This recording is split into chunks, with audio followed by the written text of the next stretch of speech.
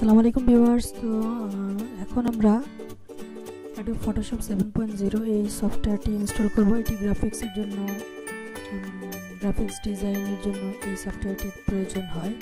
তো, এই সফটওয়্যারটি আমরা আজকে এখন ইনস্টল করব।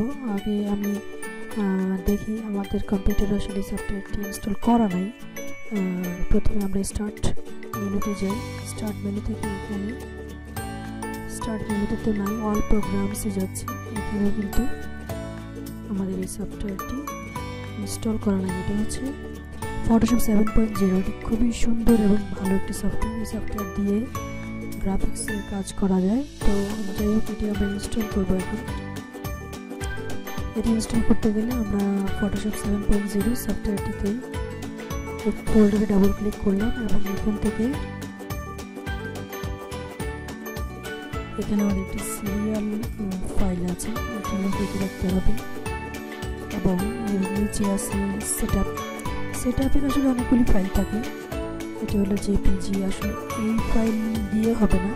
আমাদের সেট আপ অ্যাপ্লিকেশন যে ফাইলটি আছে, এই ডান পাশে খেয়াল করলে বোঝা যায়। অ্যাপ্লিকেশন এই অ্যাপ্লিকেশন ফাইলটি ডাবল ক্লিক করতে হবে। ইয়েস এটা ফটোশপ ইনস্টল হচ্ছে। নেক্সট অ্যাকসেপ্ট এখানে আমরা যে কোনো কিছু লিখে দিই।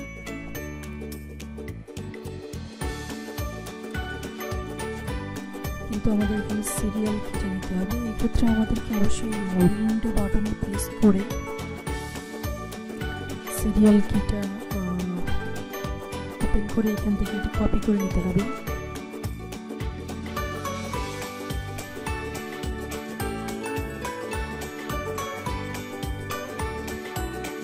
এবার নেক্সট দিয়ে দিলাম এই অপশনটি থাকবে নেক্সট আমাদের এখানে আসলে ডেস্টিনেশন ফোল্ডার অর্থাৎ আমরা যদি সি ড্রাইভ থেকে বা অন্য ড্রাইভে ইনস্টল করতে চাই, তাহলে এখান থেকে ফোল্ডার চুজ করে দিতে হবে। তো যাই হোক, আমি আসলে সিতে ইনস্টল করব। সো আমাকে এটি ক্লিক করা দরকার নাই। নেক্সট নেক্সট দিয়ে গেলাম। তো আমাদের ফটোশপ সেভেন পয়েন্ট জিরো এটি এখন ইনস্টল হয়ে যাচ্ছে। এটি আসলে খুবই ছোট একটি সফটওয়্যার ওকে, এটি ইনস্টল হয়ে গেল। আমাদের ফটোশপের রিড বি ফাইল ডিসপ্লে করা দরকার নাই। Finish okay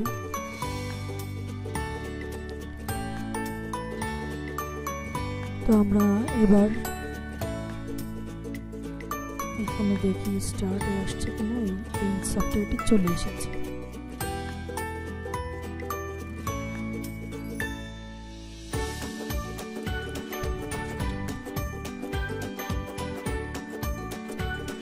Don't display this dialogue again দিয়ে দিব। আমি তাহলে আর এই ডায়ালগ বক্সটি ফটোশপ রেজিস্ট্রেশনের জন্য এটি বারবার আসবে, দরকার নেই।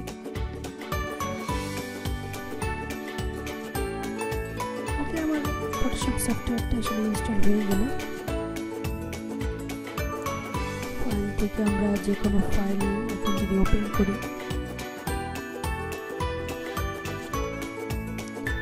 তো আমরা ওপেন করতে পারতেছি এবং টুলস দিয়ে কাটাকাটি বা অন্যান্য কাজগুলি টুলসের কাজগুলি আমরা করতে পারব।